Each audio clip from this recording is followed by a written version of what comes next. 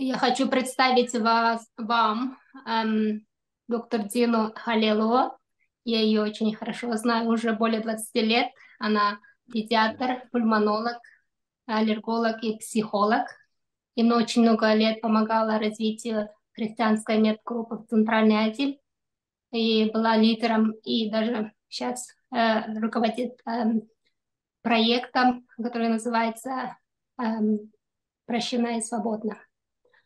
Эм, не только она, но и ее мама тоже очень много помогает развитию медгрупп именно в Центральной Азии. Спасибо, Дина, что ты согласилась сегодня. Э, и мы сейчас будем молиться и благословить тебя. Господь, спасибо тебе за эту возможность, где мы можем эм, представить Дину. Спасибо за то, что ты ее выбрал среди многих в Центральной Азии, Господь, и что ты благословил ее, ее маму и через нее многих в Центральной Азии, Господь, и за пределами. Мы благословляем ее, ты помоги, чтобы она говорила то, что ты в ее сердце положила сегодня. Во имя Иисуса. Аминь. Аминь. Спасибо большое за такую возможность поделиться с вами. А, тема, в принципе, она важная для нас всех. Ну, то, что вот Нургуля уже говорила, а, чем я занимаюсь, то, что я врач. Была сначала медсестрой, нет, колледж закончила, в реанимации работала, потом уверовала, когда работала в реанимации, потому что часто встречаешься с такими моментами, когда люди умирают. У меня такой вопрос был всегда, что а что дальше?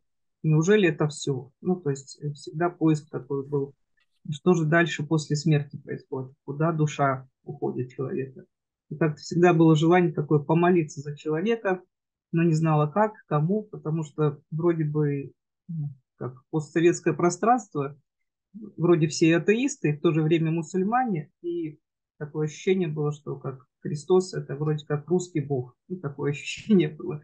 И не знала даже, кому помолиться за моих пациентов. А, ну, потом вот э, мне встречались пациенты, которые говорили, что э, когда они находились в клинической смерти, то они говорили, как их душа выходила из тела, где она находилась, что они слышали, что мы говорили и, ну, во время реанимации, потом, когда уже возвращались э, в сознание, то рассказывали. Я тогда поняла, что, ну да, на самом деле жизнь есть, да, и не, не только тело, не только сознание, но есть еще что-то, то, что называется душой. И потом так вот Бог удивительным образом в 93 году, когда э, приезжали первые э, миссионеры, христиане, я попала на служение такое на стадионе, услышала благовестие, и тогда э, Иисус нашел меня, называется так вот. С тех пор я вот стала с Господом жить, и в 94 году поступила тогда в мединститут, э, то я думала, ну, это вообще чудо, то, что я поступила туда, потому что по Божьей благодати. Я тогда молилась и просто сказала Богу, если это твоя воля, то помоги мне поступить. И если ну, это будет, ну, ты так, Господь, сделаешь, то я обещаю со своей стороны такой обед тебе даю, что я буду учиться честно, не буду списывать, буду стараться все учиться, не буду пропускать занятия и прочее. Ну, то есть все, что от меня зависит, свою часть я сделаю. Но ты, Господь, помоги мне.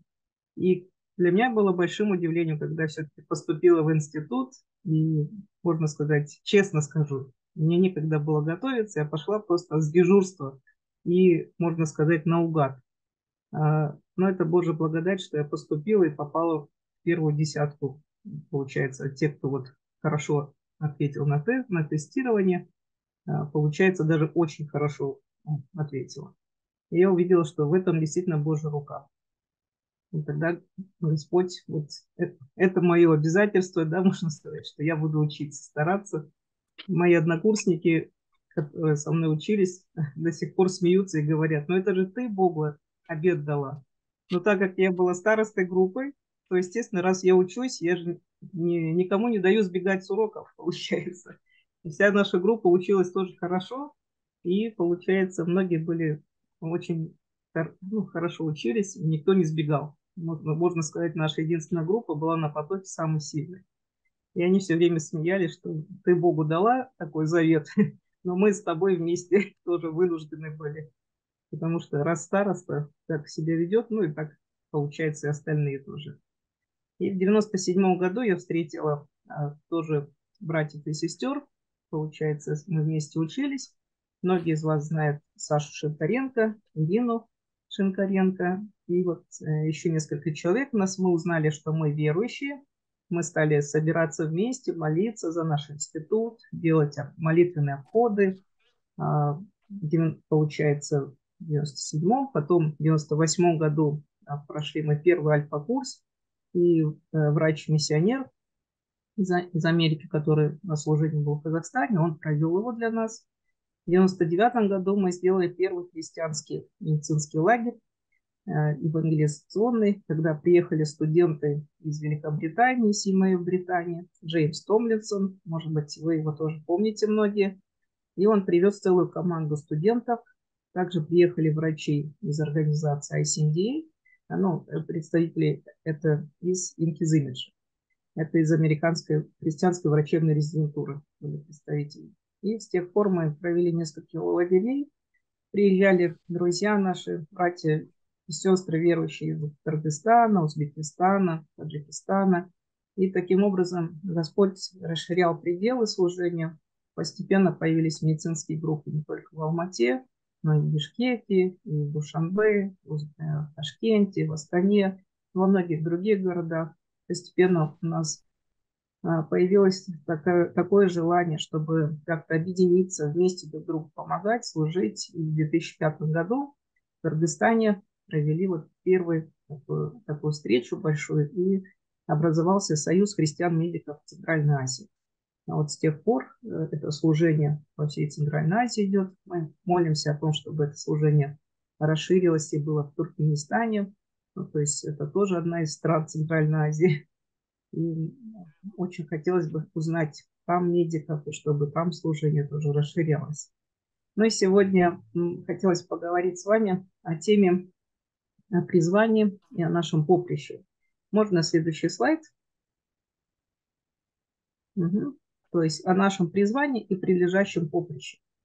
А, ну, люди говорят обычно призвание, ну, мы слыш, слышим часто, это э, медицинское, в профессии призвание.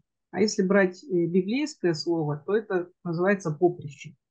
И оно вам знакомо. Э, по посланию к евреям, если мы прочитаем, там говорится, что «посему и мы, имея вокруг себя такое облако свидетелей, свергнем с себя всякое время и запинающий нас грех, и с терпением будем проходить прилежащий нам поприще, взирая на начальника и совершителя веры Иисуса, который вместо прилежавшей к нему радости претерпел крест и, пренебрегший посрамление, и восел одесную престола Божия. Помыслите о претерпевшем такое над собой поругание от грешников, чтобы вам не изнемочь и не ослабеть душами вашими. Аминь. То есть э, давайте дальше посмотрим. Иисус совершал вот это вот поприще прилежавшее. Еще можно посмотреть э, такой момент, что в современном переводе там говорится, что не, не отводите своего взора от Иисуса, того, кто ведет нас за собой в вере нашей, и сам совершенен, ради той радости, что ожидали его, что ожидало его. Иисус принял смерть на кресте, презрев позор распятия, и теперь занял свое место по правую руку от престола Божьего. И вот от, отличие от первого да, вот перевода, там говорится а, вместо предлежавшей ему радости, а здесь говорится ради той радости. Представляете, вот ради той радости, то, что Господь знал, что мы будем вместе с Ним, да, ради той радости, что э, мы станем, можно сказать, соработниками, братьями и сестрами, мы станем его детьми Господа. Ради той радости он пошел на эту страшную смерть и вот взял весь грех всего мира. Не вместо, а именно ради той радости. А, потому что ну, Господу было это открыто. И он пошел, да, вот, совершил эту миссию, вот это прилежащее поприще ради той радости. И как часто мы, бывает, что-то делаем, может быть сложное, может быть трудное. Мы устаем физически, мы, может быть, выгораем эмоционально на нашей работе или в служении. Но когда мы думаем, что ради той радости, что люди узнают о Христе, ради той радости, что они получат исцеление, ради той радости, что мы увидим наших пациентов, выздоровевших, да, мы готовы служить, мы готовы куда-то ехать, в какие-то деревни, села, мы готовы ноч... Э, дневать и ночевать на работе, брать какие-то дежурства, да, оставаться сверхурочно ради той радости, ради того призвания, к чему нас Господь призвал. И посмотрим дальше. Следующий слайд – это определение слова «поприще». Что же это значит? Поприще, в общем-то, это старорусское такое название. Это путевая мера вообще для измерения больших расстояний. Имеет несколько числовых соответствий. То есть это расстояние, ну тут вот в греческом или же в римском, римская стадия 185 метров, путевая мера. Или расстояние э, римско-греческой мили, 8 стадий. А, или расстояние в один день пути еще называют. Расстояние, э, которое проходил пахарь во время спашки поля. Это называлось именно поприще. Ну, то есть это получается, мы идем по какому-то пути, какое-то расстояние, совершаем это поприще. И дальше смотрим. И Господь нас же тоже а, призывает к такому поприщу. Не просто, что вот в современном понятии часто мы говорим поприще, это призвание, какая-то деятельность, да, что мы где-то чем-то занимаемся, это наше поприще. А раньше это было, конечно, это именно движение, какой-то путь. Еще и такое определение есть далее. Это место, простор, пространство, на котором подвязается или действует. Это, это может быть арена, сцена, может быть ипподром, там, приспособление для скачек, марафон какой-то. Ну, то есть э, все что угодно может быть. Это поле битвы может быть, место э, битвы, да, поприще тоже называется. И раз вокруг нас такая тьма свидетелей, то там, то нам надо снять себе бремя, цепков греха и бежать предстоящий нам забег терпеливо и стойко. Интересный перевод, да? А, получается, вокруг нас тьма свидетелей. То есть, э, вот если в контексте смотреть всю эту главу послания к евреям, там говорится о тех, кто были еще до нас, то есть и пророки, и люди, которые пострадали за веру, те, кто многие-многие тысячелетия до нас жили, да. И вот сейчас они взирают на нас, это вот свидетели Божии, да, святые, которые, можно сказать, они свидетели того, как мы сейчас бежим по этому поприщу. Представляете, какой-то стадион, да, забег идет. Каждый из нас бежит по дороге, получается, по вот этой дорожке. Иногда мы можем падать, иногда мы устаем, иногда, может быть, нас на какое-то время даже на скамейку запасных сажают, может быть, да, и нужно передышку взять. Иногда получаем травмы какие-то. Но все равно мы возвращаемся и снова бежим. И всегда вспоминаются слова Иисуса, когда он говорит, что совершайте да, свое поприще. Если вам нужно идти одно, берите еще второе даже, да, и э, идите вместе со мной, то есть вместе, как соработники Божии, мы совершаем это поприще. И терпеливо, стойко бежать, э, снять с себя время всякого запинающего греха. А, в те в древние времена, когда вот олимпи- олимпийцы бежали по, получается, в марафон, да, вот они, э, чтобы им ничего не мешало, они снимали даже с себя одежду. Ну, то есть вот все, что им мешало бежать, они буквально вот убирали, вот снимали с себя. Если образно смотреть, то представьте себя, что мы должны, вот, вот может быть, это одежда для нас, как вот запинающий грех. И когда мы бежим, совершаем это поприще в забеге нашей жизни, может быть, нам тоже стоит, да, вот все себя, можно сказать, сорвать, ну, то есть не в буквальном смысле одежду, а вот именно запинающий нас грех, может быть, какие-то вредные привычки, может быть, что-то, что нам мешает совершать свое призвание, свое поприще, бежать вперед. Давайте смотреть дальше. По ходу, если у вас возникают какие-то вопросы, друзья, можете задавать, хорошо? чтобы это не было, что один говорит, все остальные молчат. Еще современный перевод в русском языке слова «поприще» в высоком стиле означает род деятельности. Это трудиться на каком-то поприще. Поприще жизни, вся земная жизнь человека в бытовом отношении. Все, чем мы занимаемся, это тоже наше поприще. Следующий. И я хотела бы вам сейчас задать вопросы, чтобы мы немножко поговорили, чтобы не только я говорила. Вот такой вопрос. Какие дары и таланты Бог вложил в вас? Что у вас есть такое особенное, да? Может быть, таланты ну, в духовном плане, таланты профессиональные.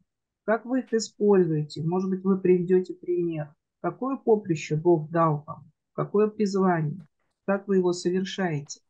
Я бы очень была рада, чтобы э, вы могли подключаться и делиться. Хорошо?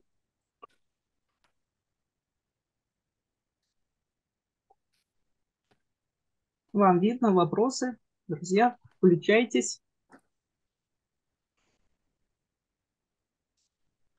Видно? Угу. Да, хорошие вопросы, Дина. Ты нас э, хотела, хотела, да, чтобы мы тебе все это э, рассказали. Да, я согласна с тобой, что Бог дает каждому поприще. И я думаю, что у меня есть тоже таланты и дары. Например, Бог мне дал такую возможность работать врачом в Англии.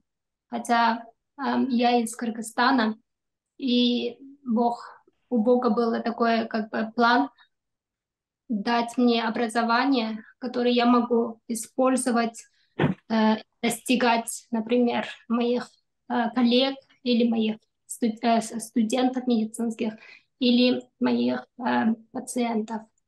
Например, в ICMD я делаю эм, я занимаюсь discipleship, да, как э, ученичеством.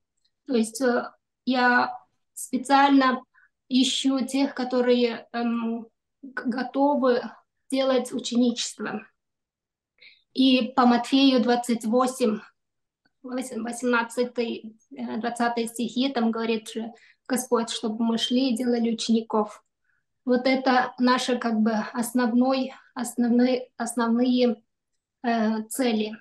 Мы хотим достичь наших э, тех, которые Господь дал нам, э, ну, вложил в наши социальные как бы сети.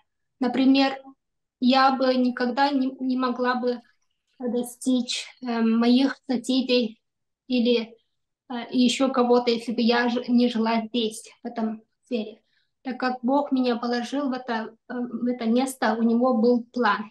Поэтому как бы я молюсь о моих соседей, я приглашаю их, и я иду к ним, если они болят, я прошу, если они не против, чтобы я помолилась. И даже было такое случай, что э, в больнице я евангелизировала моих пациентов, хотя все говорят, о, это очень трудно в Англии евангелизировать пациентов или еще что-то. Но если мы будем открыты и мы будем просить и знать, что Бог дал нам дары и таланты, то я думаю, Бог может использовать каждого. Да. Спасибо, Нургуль. Это удивительно, что вот, вот простую девушку, да, из Кыргызстана а, Бог призвал и поместил вот в Англии, да, и что ты можешь влиять на многих людей, вокруг тебя, на многих служителей из разных стран. И Господь дал ну, такое поприще тебе большое, можно сказать, расширил э, твои пределы, да, и ты сейчас, вот, э, можно сказать, вышла на международный уровень, не просто бежишь вот по своей стране, совершаешь поприще, но и в другой стране, и встречаешься со многими, многими людьми, ободряешь их, ездишь по странам, помогаешь служителям, становлению медицинского христианского движения в разных странах поддерживаешь. И Господь, чем больше ты вкладываешься, чем больше твоя посвященность, тем больше Бог тебе доверяет. Можно сказать, как помните а, притча, когда Господь доверял, да, что вот таланты, что кому-то больше, кому-то меньше, и как мы их используем. И слава Богу, ты хорошо используешь таланты, которые дал Господин. Не зарываешь их в землю, но наоборот умножаешь их еще больше и взращиваешь новых учеников по всему миру. А, кто бы еще мог поделиться о своем поприще, о своем призвании? Я могу поделиться. Я извиняюсь, что не получается камеру включить, но вот э, могу... Хорошо, что микрофон тоже могу включить. А, я думаю, если смотреть в церкви горы таланты, то это, наверное, пение. Я пою в церкви, занимаюсь с детками, вот, и мне это очень нравится, и я благодарна Богу, что могу этим служить. Вот. А если смотреть еще и в профессиональной деятельности, наверное, это сопереживание другим. И, ну, я думаю, что у христиан э, сопереживание другим в той или иной мере оно все равно есть. Вот. Ну, использую, ну, помогая людям. Сейчас поприще мое это, наверное, учеба, потому что я сейчас учусь в медицинском университете. Вот, и, наверное, это мое основное, основная задача, которую нужно выполнить. Вот. И, ну, не всегда получается, но стараюсь его сделать, совершить. Вот, если отвечать на четвертый вопрос. Угу. Спасибо. Спасибо большое, Софья. Это удивительно, да, что вот там, где мы сейчас вот призваны, а, если студент, то в, институте или в колледже, да, если врач, то, может быть, на рабочем месте, или медсестра, или еще кто-то.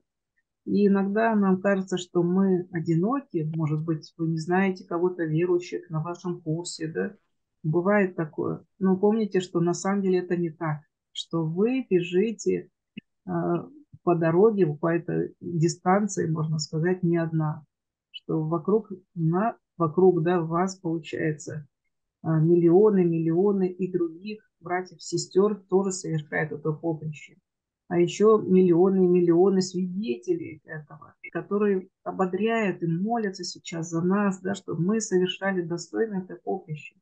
Не чувствуете этого одиночества, что вы одна боретесь, допустим, может быть, там с неправдой или несправедливостью какой-то на рабочем месте, или что-то совершается нечестно, может быть, или система здравоохранения не такая хорошая, как нам хотелось бы. Иногда у нас, может, опускаются руки, и нам кажется, что мы как один поле воин. Но помните о том, что вы не одиноки, что Господь идет впереди, и Он уже совершил это поприще, Он уже достиг его, Он совершил все, что Отец Небесный ему а, поручил, все, что необходимо было сделать, Господь уже это сделал, и Он победил.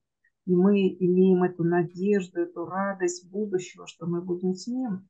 У нас э, мы, получается, совершаем свое поприще ради той радости, что в конце концов однажды мы придем к Нему и войдем, и, получается, э, встретимся с нашим Господом.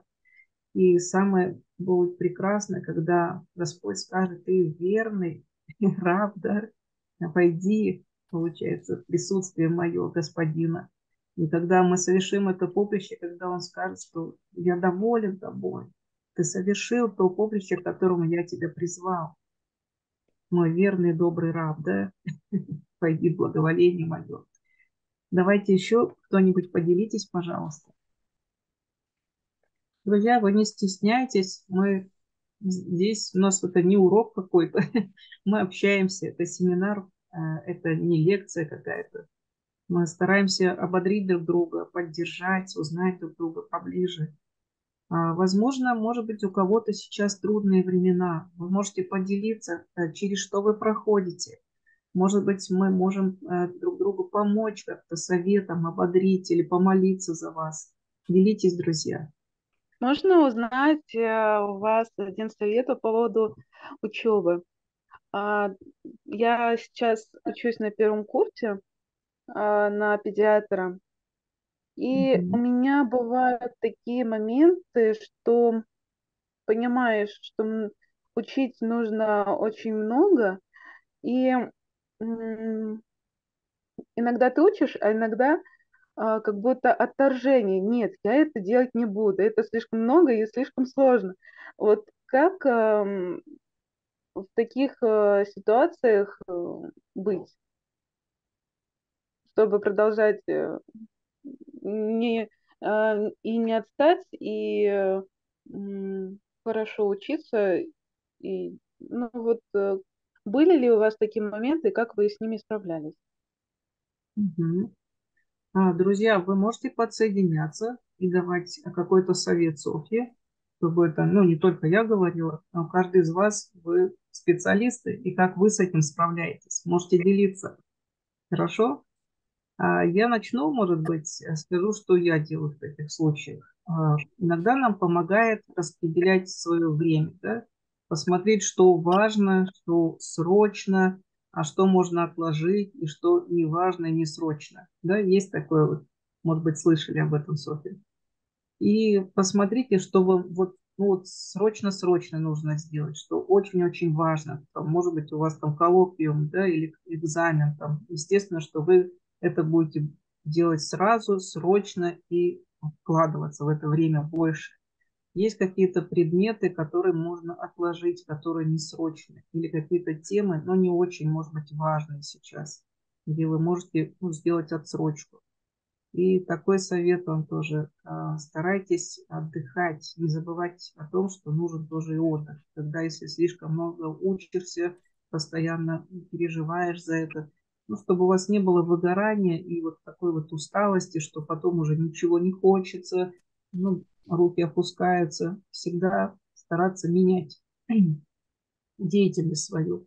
Если вы немного позанимались одним, переключитесь на другое что-то. Может быть, вы поете или там спортом занимаетесь, или просто прогулялись, какую-то прогулку сделали, а, встретились с друзьями, а, помолились, да, какие-то домашние дела поделали. То есть свою учебу меняйте. То учеба, то какая-то деятельность другая, то возвращайтесь снова к учебе.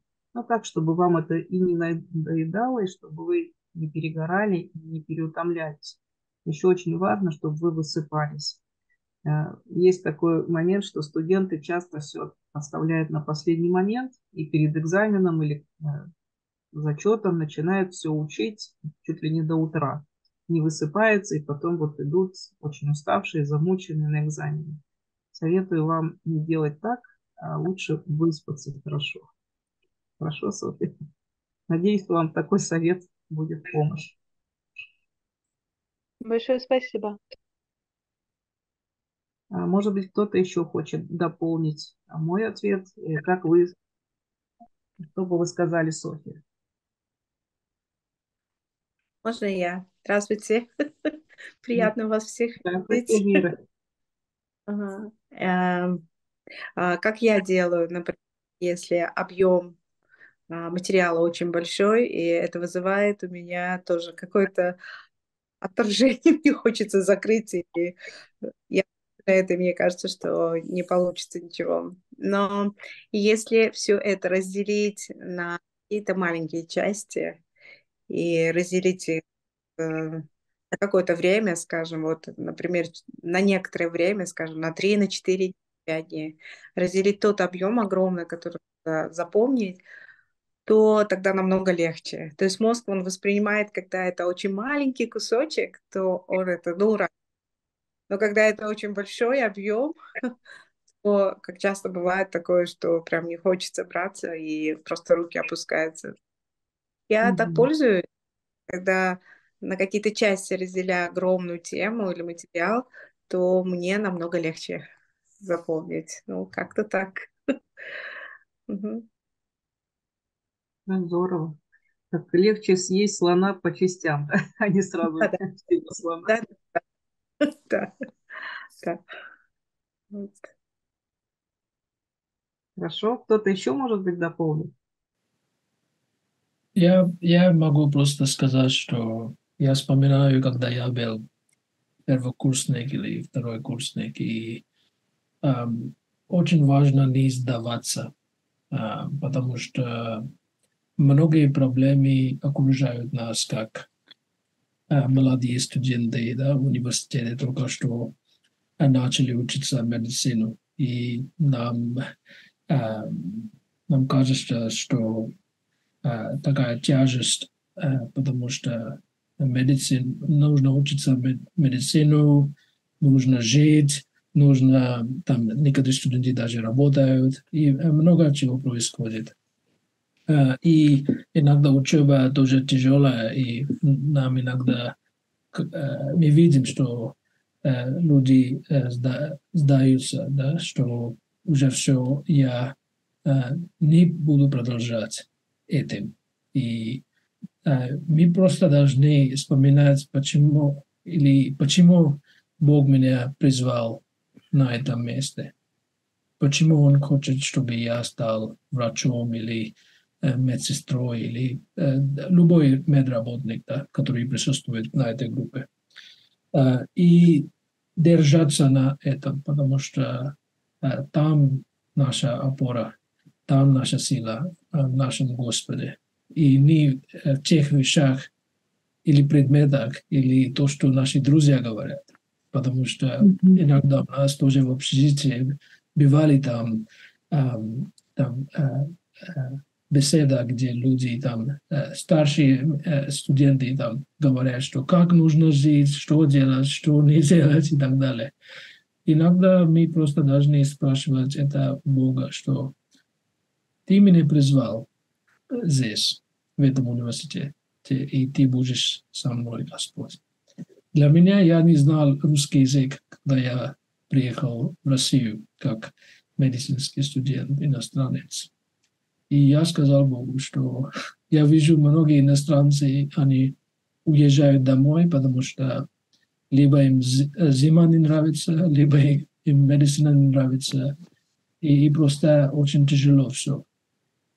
Но у меня был договор с Богом, что если это твой план, тогда ты мне поможешь, и, и ты оставляешь меня здесь. Я буду радоваться в этом месте, где ты меня положил. И ты меня учишь теми вещами, которыми ты э, приготовил для меня.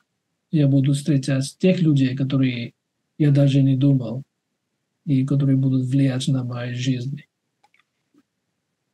И я буду это, этим использоваться в будущем. Я просто не понимаю сейчас мою ситуацию, но я, я знаю, что ты в контроле, что mm-hmm. ты за рулем для моей жизни, и ты будешь владеть мою жизнь. Вот. Спасибо, Новель. Хорошо, друзья, давайте дальше посмотрим следующий слайд. Хорошо? А, смотрите, мы продолжаем смотреть. И, ну, вот, можно сказать, подготовительная часть, когда мы совершаем забег. А, то, к чему нас Господь призывает, что свергнуть себя всякое бремя и запинающий нас грех. Немного об этом да, говорила. Всякое бремя, чрезмерная привязанность к плоти и неумеренная забота о ней, о временной жизни, о мирской. Неумеренная забота о земном или привязанность к земному является мертвым грузом для души. Тянет ее вниз, когда ей хочется подняться ввысь, и толкает назад, когда она стремится вперед делает обязанности и трудности более тяжелыми. Это вот то, что нам часто бывает, ну, мешает. Иногда бывает э, неявный, да, какой-то грех, может быть, но мы чересчур о чем-то заботимся. А, можно сказать, о хлебе насущном, о каких-то заботах каждого дня.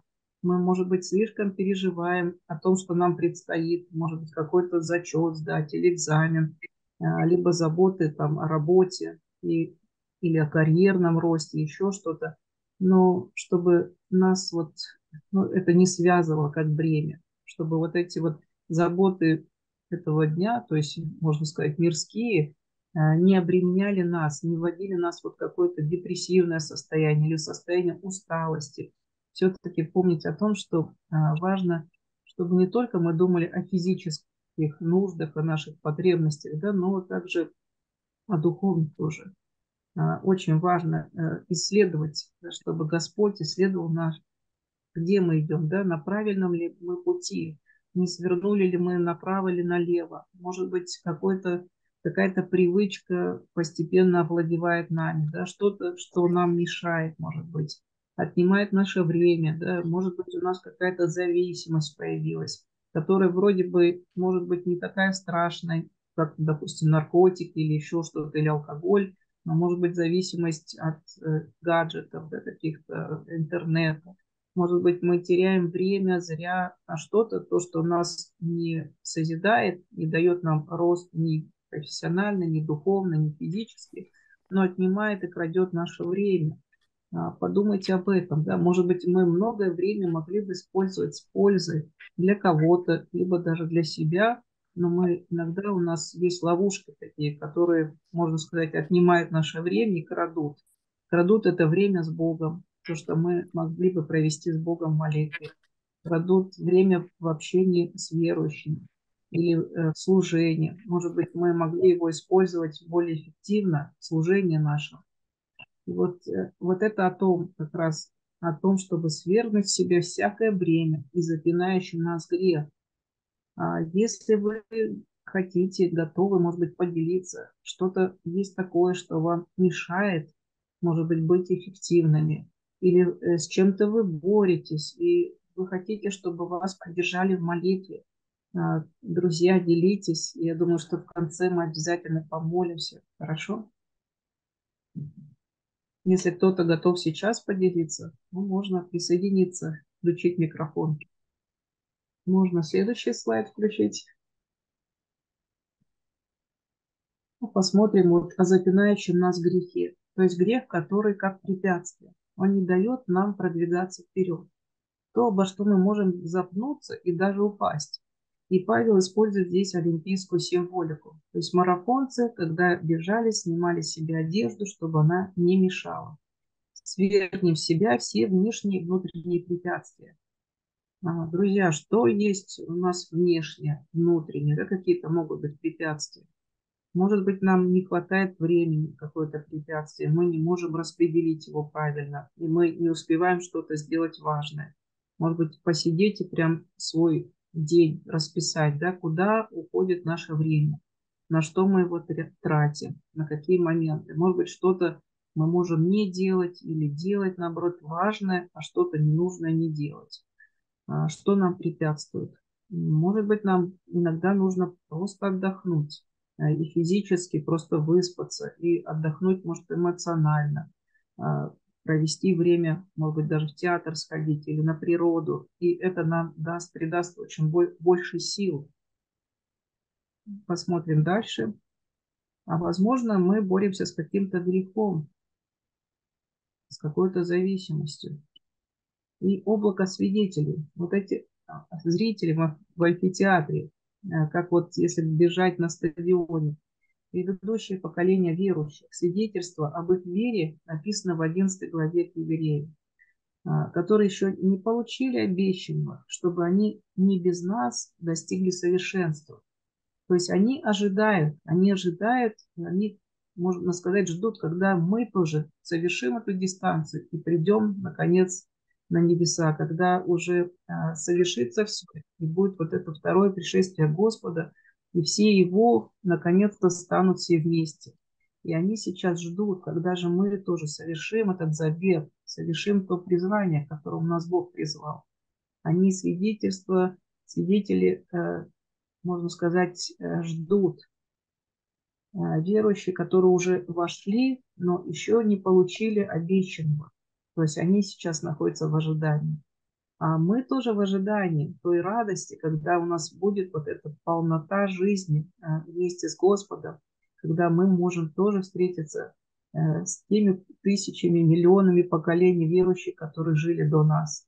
Представляете, когда мы будем вместе а, радоваться, общаться с Господом, когда мы будем славить Его вместе и с апостолом Павлом, да, или Петром, или с Исаией, или с, э, с Иеремией, с Авраамом, да, и вот со всеми-всеми, а, получается, праотцами, да, а, которые жили много-много тысяч лет назад и которые сейчас ожидают нас.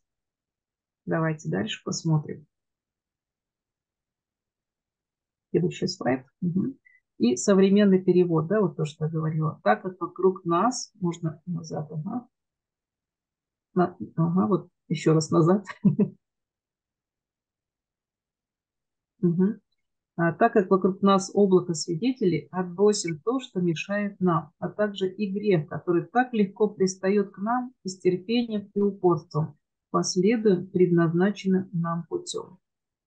Это еще один перевод, может быть, он более понятный. То есть давайте отбросим все, что нам мешает. И грех, и, может быть, э, мирские заботы какие-то. Может быть, мы чему-то придаем очень большое значение. Но, может быть, вы замечали, что потом проходит какое-то время, и вы думаете, и что я так переживал, да?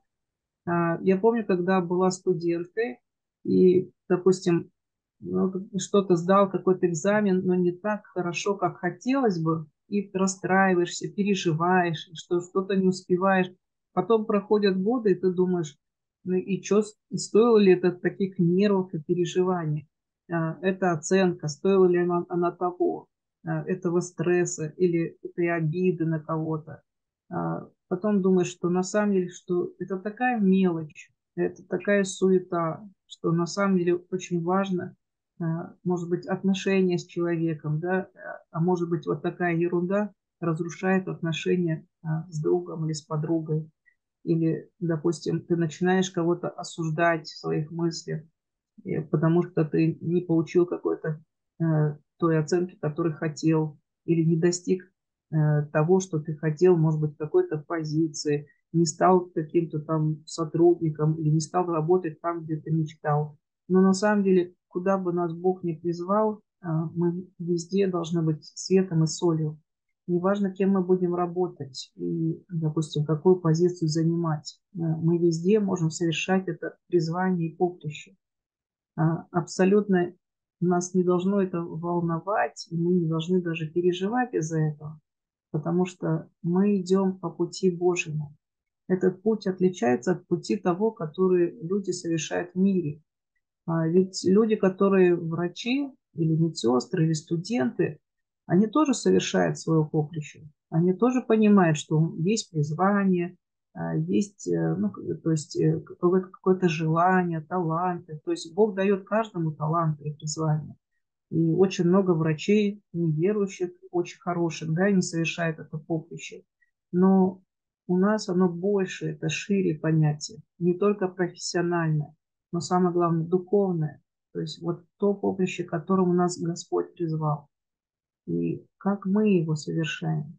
Может быть, даже мы будем обыкновенным врачом или медсестрой где-то в селе, и не станем там главным врачом, да, или там ведущим специалистом, но при этом мы можем с достоинством и совершать свое поприще там, куда нас Бог призвал.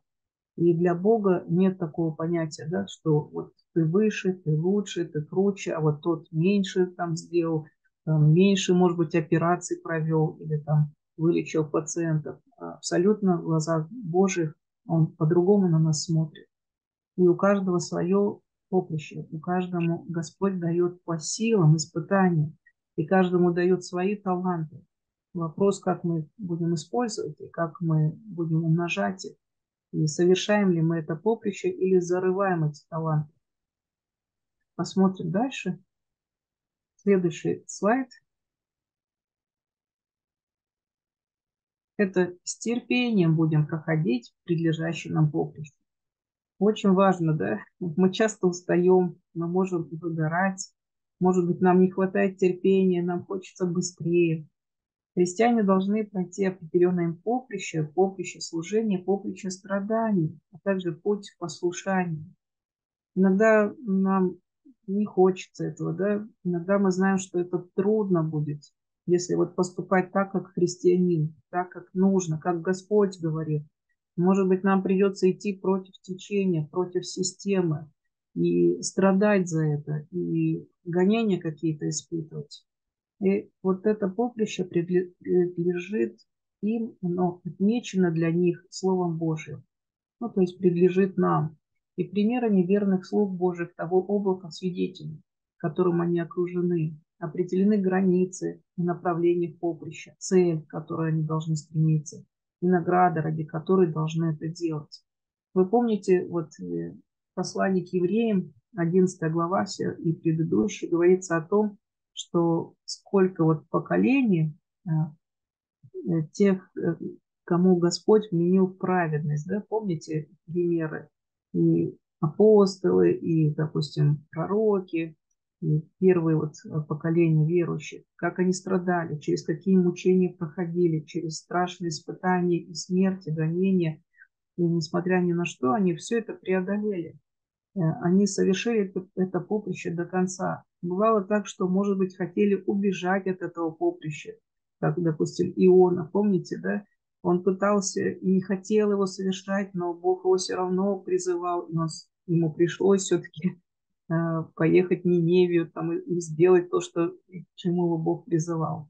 Иногда мы сопротивляемся и не хотим, но рано или поздно, если мы слышим голос Господа и смиряемся пред Ним, то Бог призывает туда, куда нужно.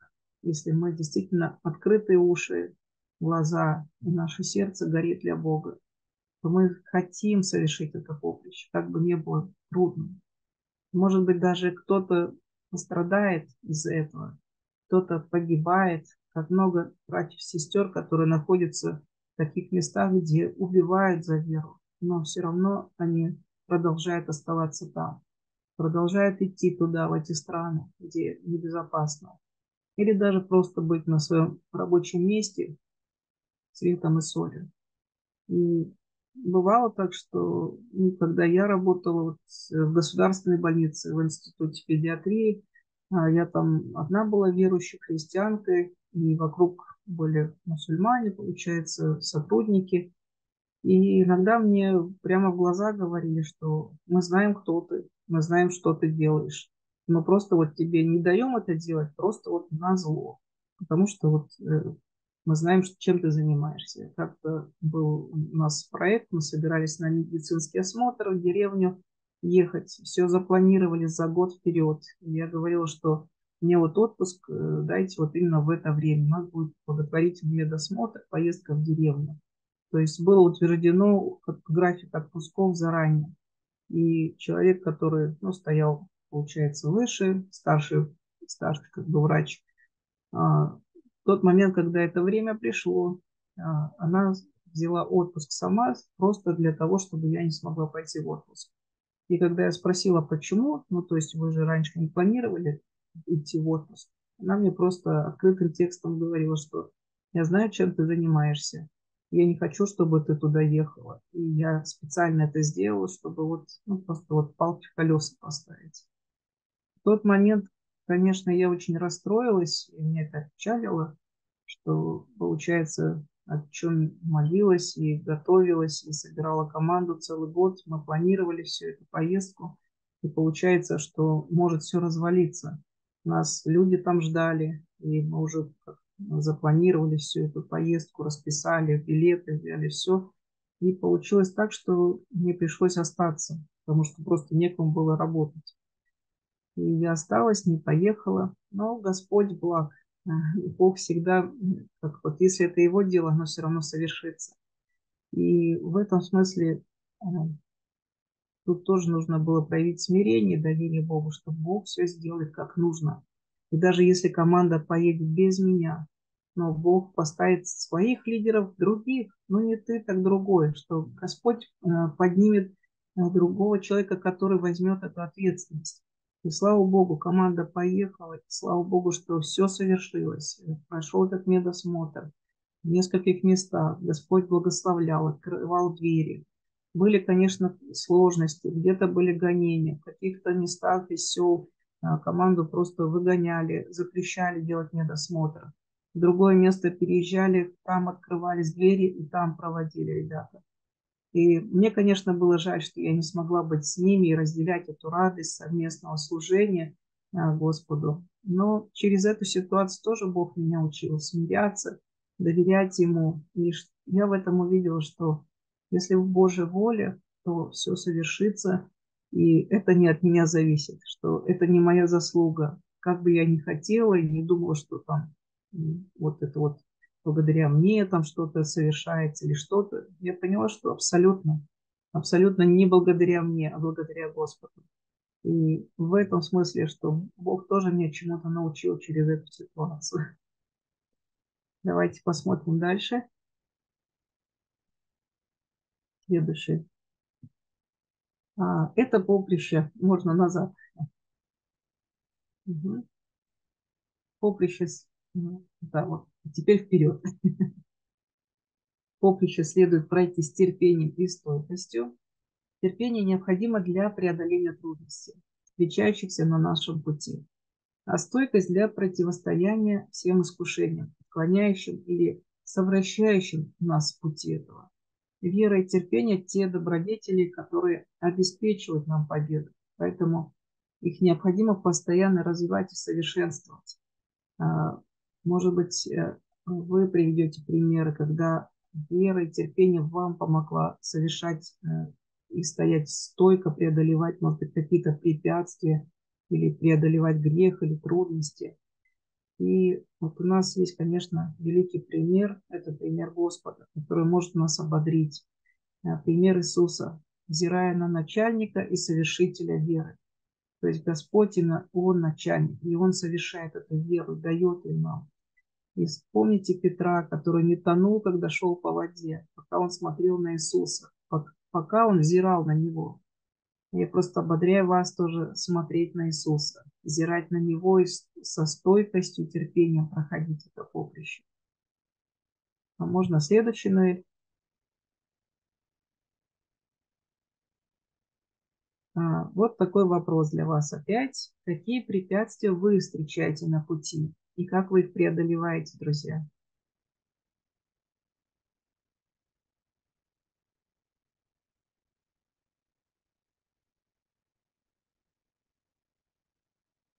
Поделитесь, пожалуйста. Дина, может, ты поделишься насчет э, вот, э, прощена и свободна из этого чуть тайном. А скажи, что к чему, как вы делаете, где проводите, когда вы последний раз проводили. Я знаю про это, но многие, наверное, не знают, потому что этот вебинар будет потом, они могут прослушать свое время, поэтому... Хорошо. А, есть такое служение, а, может быть, из вас кто-то слышал, библейский курс исцеления называется «Прощена и свободна». Это курс исцеления основан на Библии, то есть исцеление а, через Слово Божие, получается через групповую такую работу, когда сестры собираются, верующие, и через Слово Божие получают исцеление после перенесенной травмы потери ребенка вследствие аборта либо выкидыша. И вот это служение, оно уже, наверное, более 40 лет идет в разных странах мира. Одна из сестер, Линда Катрейн, написала курс, руководство для его проведения. А, где-то еще в конце 70-х годов она из Америки. И с тех пор это движение, можно сказать, такое по исцелению женщин, по восстановлению женщины как матери, как, как женщины. А, этот курс идет на разных языках. В 2013 году как раз вот на Конгрессе медиков-христиан в Киеве я познакомилась с одной сестрой, и вот еще сестра Илья Люм тоже там была, Алия, у нас несколько человек было из Центральной Азии. Мы попали на семинар Мирем, сестры, которая была миссионером в Одессе много лет. Она семейный врач, и она там служила. И мы как-то делились, у нас такое служение началось в 2011 году, служение беременным женщинам по профилактике аборта. Мы консультировали на телефоне доверия женщин, чтобы они не делали аборт. Ну, то есть э, их консультировали, помогали им. Но потом появилась такая нужда, мы увидели, что есть женщины, которые уже сделали аборт, которым нужна психологическая помощь, духовная помощь, потому что многие женщины страдают и находятся в депрессии, уже проходит много лет, особенно женщины, которые пришли к Господу, и приходит такое глубокое осознание, что же произошло, что совершили, да, что потеря ребенка на самом деле нанесла огромную-огромную травму для сердца женщины. И многие женщины не могут себя простить за совершенный грех, когда проходит много лет, они продолжают мучиться вот в этом чувстве вины или гнева или обиды, а также, ну, то есть э, сожаление, что произошло это. не думают о том, что, может быть, Бог их не простил, может быть, они ну, недостаточно хороши. Э, некоторые женщины продолжают самостязание такое и сами, сами себя наказывают. Даже уже будучи верующими, многие говорят, что я знаю, что Бог простил меня, то есть в своей голове я понимаю, это написано в Слове Божьем, но в сердце своем я не могу сама себя простить. Или я не до конца уверена, что Бог простил меня именно за этот грех аборта. И Господь вот через вот этот курс, Он помогает прийти к глубокому пониманию, да, вот что произошло, о том, о ценности жизни ребенка, о развитии его. Мы там глубоко проходим и эмбриологию, и что происходит да, с женщиной, какие последствия вот этого поступка, а, как это отразилось на судьбу женщины как матери, как жены, как отразилось на отношения с мужем или с, муж, с партнером, как часто это разрушает семью, перенесенный аборт. Чаще всего по статистике потом, если это брак, то он распадается, если это были отношения добрачные, то они э, разрываются тоже. И вот эта травма, которую женщина перенесла, она несет ее всю жизнь. И как часто многие успешные женщины, которые уже даже боги, и лидеры, и служители, а когда они остаются один на один, они просто говорят, мы тихо плачем в подушку, и в церкви думают, что мы такие успешные, мы такие лидеры, мы служители. Но никто не знает, когда закрывается дверь, когда я остаюсь один на один, просто, да, вот со своими мыслями, и как женщина переживает эту утрату. Потому что ну, потеря ребенка для любого человека, там, будь это мужчина или женщина, это огромная потеря. Да? И представляете, когда это происходит из-за того, что ты сознательно это сам выбрал, осознание вот этого, что же произошло, то это глубокое чувство вины, оно просто, ну, можно сказать, разрушающе действует на женщину. И вот Господь призвал тогда к этому служению. Сестра Мирьям сказала, что мы это служение проводим уже много лет. А я говорю, мы молились о том, чтобы Бог нам показал, как же мы можем помочь этим женщинам.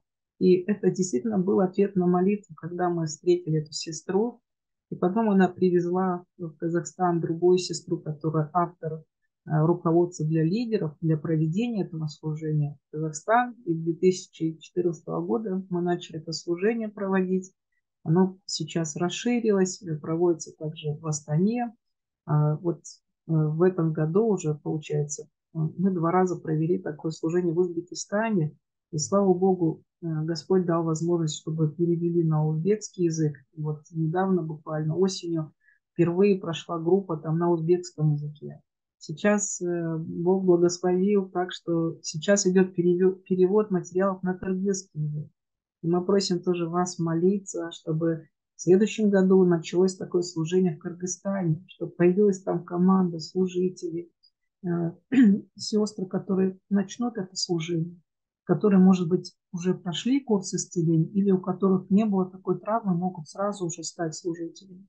И мы очень рады будем помочь, обучить и провести первое служение там.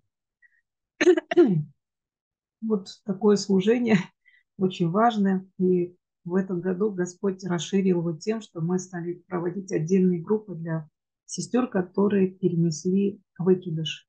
Потому что часто эту тему тоже не поднимают и в церкви не говорят ни последствия аборта или последствия выкидыша. Многие люди не понимают, что делать, как помочь и как соболезновать такой женщине, а, которая потеряла ребенка, и она не может его, может, ну как вот обычно человек, когда умирает, близкий какой-то, все люди ему сопереживают, приходят, помогают, да, э, вместе какой-то, ну, делают обряд, там, поминки, еще что-то, как-то вспоминают этого человека но женщина, которая потеряла ребенка, которого никто не видел, и ему еще не успели дать имя, да, его она сама даже не видела, но при этом она все равно понимает, это был ребенок. И ребенок, который еще не родился, который родился, ценность его абсолютно не меньше. Это Господь создал эту жизнь, Господь дал предназначение и призвание этому ребенку, который был еще в утробе матери. И эта потеря нисколько не меньше, чем если бы он родился, прожил и умер. То есть в глазах Божьих это точно так же человеческая личность. Э, личность, у которого для, у Господа был план на него. представляете, да, и женщина тоже испытывает эту потерю, и так часто мы вокруг не знаем, что сказать ей. Нам иногда неудобно сказать. Мы думаем, что мы, может быть, ей напомним ей о ее ране, ее боли. Мы не знаем, как ей сказать соболезновать, даже как ей разделить с ней эту боль, эту, эту печаль. И часто, получается, люди молчат, делают вид, что ничего не произошло, либо дают какие-то советы и утешения, которые, наоборот, могут ранить женщину. Когда верующие говорят, ну, Бог дал, Бог взял. Вы, наверное, слышали, да, такую поговорку? Или это утешает, ну, ладно, там, ну, ничего, еще родишь, да? Э, но это значит э, не признавать ценность этого ребенка, да, что это человек и ценность для этой женщины, что это ее ребенок. И ее потерю, э, можно сказать, преуменьшать, что она испытывает такую боль, а ей в этот момент говорят, что ну это не важно, да, ну это еще и не ребенок был, ну просто сгусток там ткани, да, на этом периоде развития, может быть, там это вообще, ну, никто, ничего страшного, ну, еще родишь там, да, еще что-то там. И такое утешение, оно не утешает, а наоборот, а, ранит женщину. Мы говорим вот в таких моментах, если произошло у вас в церкви, или вы кого-то знаете, знакомых там, или близких, там, соседей, или кто-то, кто потерял ребенка, для этих людей очень важно дать им возможность выговориться, чтобы быть рядом с ними, их слушать, сопереживать, может быть, просто обнять и тихо сидеть вместе, да, может быть, вместе плакать и просто слушать, чтобы человек мог высказать всю эту боль, эти переживания, эти эмоции и э, почтить память этого ребенка. Очень хорошо, если женщина и ее муж, допустим, смогут дать имя ребенку. Потому что когда мы даем имя, это признание того, что это был человек. Как если бы этот ребенок родился, родители бы, конечно, бы дали ему имя. Так Господь тоже всех нас называет по имени, Он знает всех нас по имени. И, конечно, Он знает и этого ребенка, и Он знает, кто это, и мальчик, или девочка, да, кто бы он мог быть. И точно так же родители, когда дают имя ребенку, они тоже через это получают утешение и признание, что это человек. Друзья, есть еще какие-то вопросы у вас? Спасибо большое. Потому что я на эту тему могу много говорить. Я думаю, что это будет наш э, следующий вебинар э, в следующем году. Да. Э, но нам нужно будет завершить этот вебинар, потому что уже час э, прошло, это было классное время. Так что я дам вам э, там пару минуточку, чтобы вы смогли завершить этот вебинар. Спасибо. Хорошо, спасибо большое. Может быть, давайте мы помолимся тогда? Хорошо. А, Ноэль, может быть, вы помолитесь? Да. А, дорогой Отец Небесный, мы Тебе благодарим, Господь, за это время. Спасибо за то, что э, Ты призвал нас, Господь, чтобы мы смогли служить Тебе как медработники, Господь, для Твоих людей, Господь. Ты дал нам это призвание на нашей жизни. И много, много, многие призвания в нашей жизни для каждого, который присутствует здесь и присутствует в этом мире, Господь, Твои дети.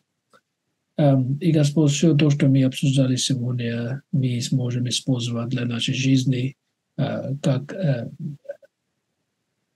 как жить эту христианскую жизнь, Господь как бороться с грехом, как найти время для Тебя. И да, Господь, мы просто благодарим Тебе, что Ты учишь нас, как жить эту жизнь, которую нам даровал Господь. И спасибо за, за это призвание, которое Ты положил на нашей жизни, Господь, чтобы служить Тебе в этой профессии, Господь с этими дарами, которые нам даровал каждого Господь, что э, дай нам знание, чтобы мы знали эти дары, Господь, сами и смогли использовать эти дары для э, Твоего Царства, Господь. Э, и особенно, Господь, что мы смогли благодарить Тебе за этих даров, Господь, которые Ты нам даровал. Мы молимся в имя Иисуса Христа. Аминь. Спасибо большое, друзья, за внимание ваше, за участие. Большое вам спасибо. Спасибо. Спасибо, Диночка. Да, Спасибо большое.